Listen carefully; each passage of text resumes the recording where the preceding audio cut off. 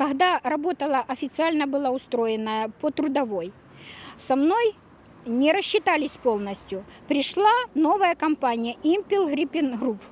Там мы работали без трудоустройства, без договора, без ничего. Получали э, зарплату в конвертах, не по карточкам. Вот. Теперь при- э, опять Gold Med Resource выиграл тендер, и с первого числа нас сократили на 75% э, трудящихся, и мы оказались за бортом. В пятницу я пришла с ночи. Меня поменяла напарница. Ей позвонили и сказали, что ты остаешься, а Осипенко уходит. Никто меня не предупредил, никто мне ничего не сказал.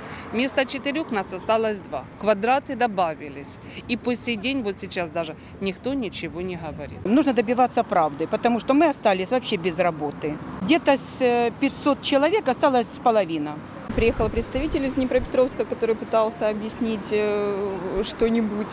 Собрал всех людей в зале, но в итоге решил разговаривать по одному. Люди на это не согласились, поэтому ждем сейчас вот к половине первого. Должен приехать еще какой-то представитель этой компании из Днепропетровска в Кривой Рог. Приехали, я предложила приехать в горо- в горисполком для того, чтобы им разъяснили вообще их права, поэтому были у специалиста, выдержки из э, законов распечатали для того, чтобы люди знали свои права.